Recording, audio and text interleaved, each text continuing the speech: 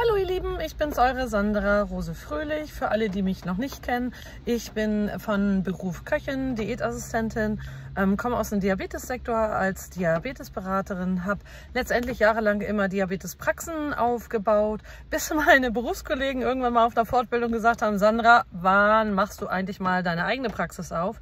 Ähm, die gibt es mittlerweile schon seit mehreren Jahren in Lüneburg.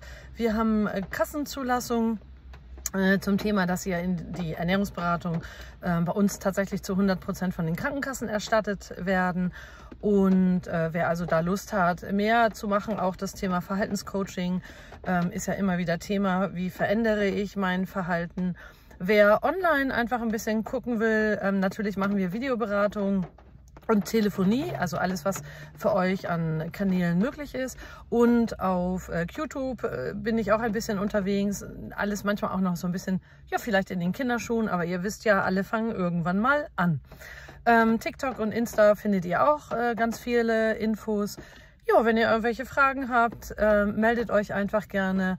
Und äh, ja, ansonsten wünsche ich euch erstmal ganz liebe Grüße und habt einen schönen Tag. Bis dann, eure Sandra. Tschüssi.